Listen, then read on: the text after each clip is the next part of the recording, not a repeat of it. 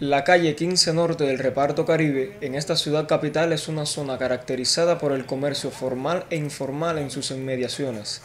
En los últimos días, puntos de venta, tanto particulares como estatales, comparten el denominador común del desabastecimiento, siendo más cruda la realidad en la placita de dicha arteria citadina.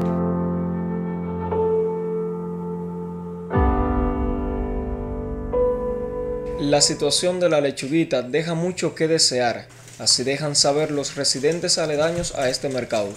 A veces traen un platanito, pero al final no alcanza ni para 10 personas. Por ejemplo, la yuca misma que llegó los otros días, trajeron poca y casi todo el, casi nadie pudo comprar la yuca. El problema de la distribución también, que se lo venden más caro a los revendedores y entonces en la placita se lleva poco producto. Por eso se agotan más rápido.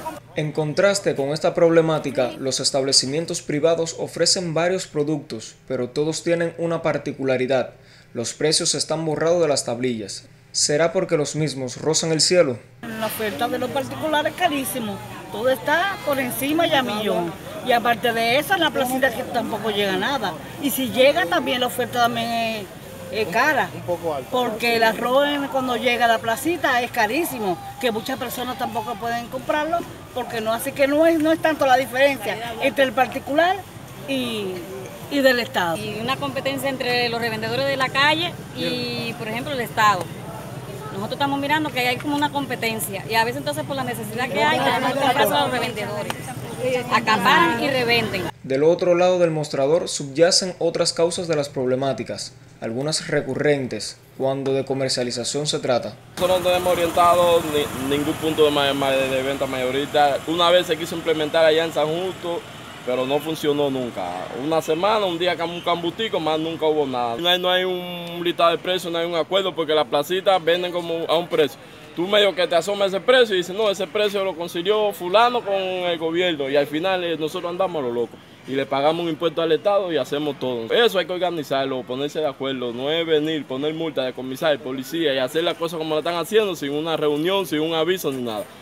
Tiene que haber una oportunidad, aunque sea de decirte, mira, orientarte, mira, a partir del lunes estoy así, así como se hacía en otro tiempo.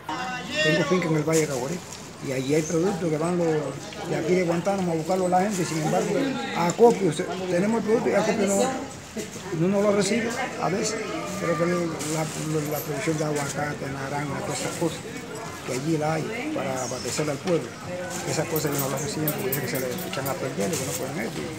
Sin embargo, ahora que me toman aguacate aquí, que lo va a usar el, el particular, carísimo, ahí lo pueden vender aquí al pueblo a otro precio más bajo desvío de las producciones, deficiencia en la conciliación y demora en los pagos a los productores, las carencias, sequía y la creciente inflación económica que vive el país son otras causas que inciden directamente en la venta de productos agropecuarios, a pesar de las diversas medidas y directrices trazadas para frenar la tendencia de aumento de precios.